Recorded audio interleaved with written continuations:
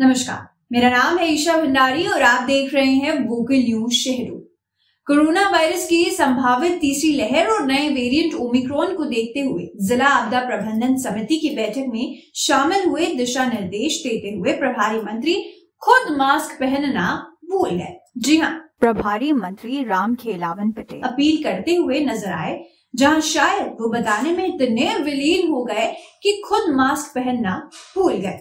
इस बैठक के बाद प्रभारी मंत्री अधिकारियों के साथ भाजपा के कार्यक्रम और धनपुरी में आयोजित टूर्नामेंट में भी पहुँचे।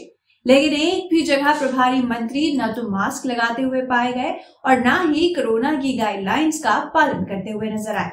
लेकिन जब इसी के चलते धनपुरी में मीडिया द्वारा उनसे ये सवाल किया गया तो उन्होंने अपनी गलती मानते हुए माफ़ी मांगी। प्रभारी मंत्री राम खेलवान शहडोल में एक दिवसीय दौरे पर आए थे। जहाँ पहले कलेक्ट्रेट कार्यालय के सभागार में उनके द्वारा आपदा प्रबंधन की बैठक आयोजित की गई, जहाँ उन्होंने अधिकारियों को दिशा निर्देश देते हुए कहा कि ज़िले में कोविड 19 के नियमों जैसे मास्क, सोशल डिस्टेंसिंग, सैनिटाइजर या साबुन से बार बार हाथ धोने तथा शासन के निर्देशों का पालन जैसे नियमों का पालन होना अति आवश्यक है। जब उनके द्वारा ये निर्देश दिए गए तो उनके आसपास बैठे सभी जिला अधिकारियों द्वारा मास्क पहना गया था। लेकिन आसपास देखकर भी प्रभारी मंत्री द्वारा सबक नहीं लिया गया।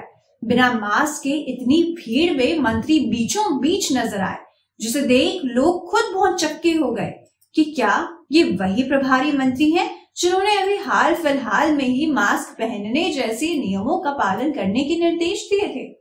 अब ऐसे में आखिर कैसे देखने वाले लोग उनसे प्रेरित हो पाएँगे?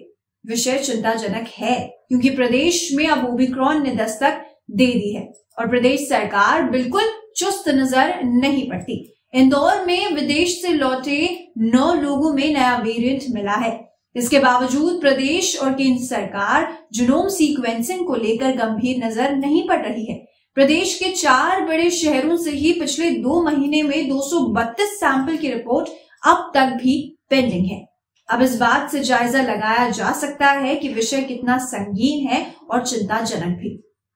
अब इस समय हम सभी का कर्तव्य हमारी तरफ़ से इतना होना चाहिए कि ज़्यादा ज़रूरी होने पर ही अपने घरों के बाहर कदम रखें। और यदि रख भी रहे हैं, यदि बहुत ज़रूरी है तो रखें। और यदि आपको रखना भी पड़ रहा है कुछ आवश्यक काम के लिए तो मास्क ज़रूर लगाएँ। और उसको लगाना ना भूलें और भले साथ ही साथ ये भी ध्यान रखना है आपको कि भीड़ भाड़ वाली जगह पर आप पलायन ना करें। धन्यवाद, आज की खबर में बस इतना ही। यदि आप हमें यूट्यूब पर देख रहे हैं तो लाइक शेयर और सब्सक्राइब ज़रूर करें और यदि फेसबुक पर देख रहे हैं तो लाइक और फॉलो ज़रूर करें। धन्यवाद।